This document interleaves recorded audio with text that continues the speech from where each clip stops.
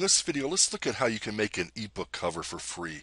And it's pretty fast and easy. And right now, I'm at the site pixabay.com and I'm looking for an ebook cover for a Buddha book on, on Buddha quotes. And I've done a search for Buddha, and let me scroll down. This is actually the hardest part of this uh, of the process. And what we need is we need a good image for the cover, but we also need to have an image that allows us space to uh, add our titles. And I've chosen this one here. As you can see at the top here, we can put the title of our book in text right up here. So I click on it and I download it.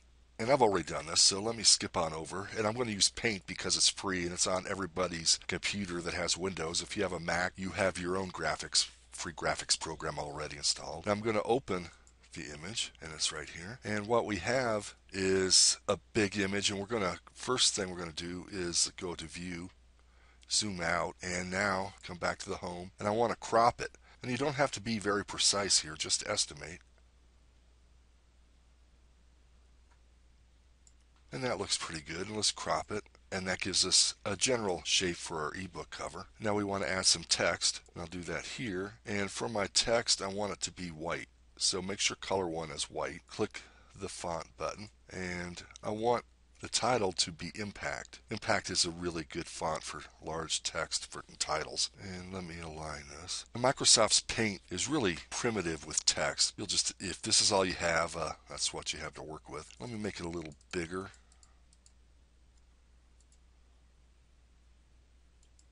And we'll try to align this here. We have best Buddha quotes and what I want to do is now let me see I'm going to make this black come up to here and I'll put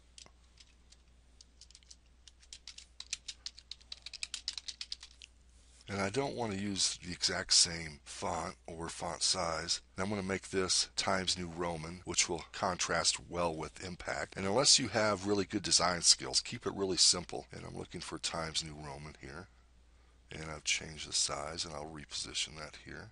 And now we have the title and by and I did this really quick. You can align it better. Now and I'm going to save this as a ping. And let's call it Buddha. Now I'm going to go back over to the browser. And I'm at a site called 3d pack.com and it creates 3D images from a, a, a typical two-dimensional image. And you have options here CD box 3D box CD box, DVD box. I want to make sure I have book selected. Now I'm going to choose the cover image I just made and Buddha for the cover. I don't need a backside. We don't need that, so just skip it and choose file for the side and just use the same image. Now you're going to scroll down a bit.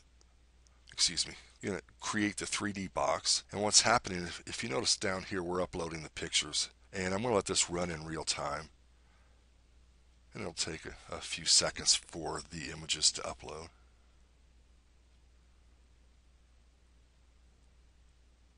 And we're almost done.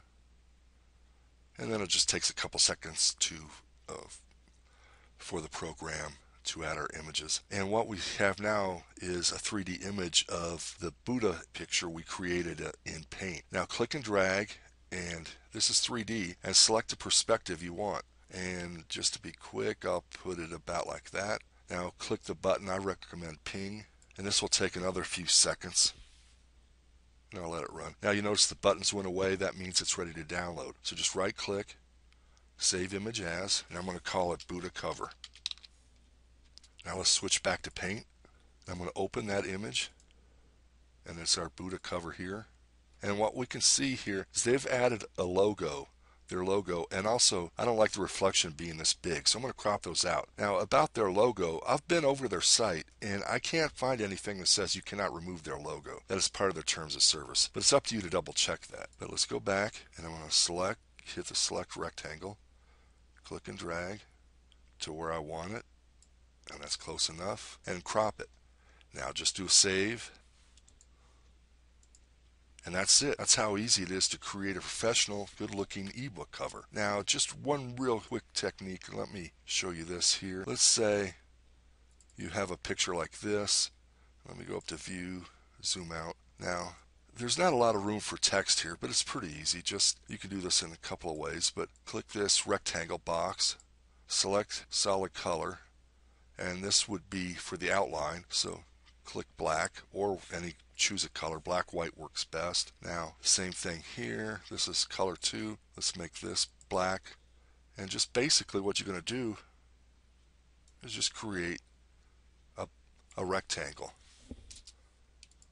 Now you can just come up and I suggest unless again unless you're a really good designer keep it simple. Use black and white or white and black. And since we have a black background I'm going to choose white text and you just type your title here and then you repeat the process. That's it and see you in the next video. Bye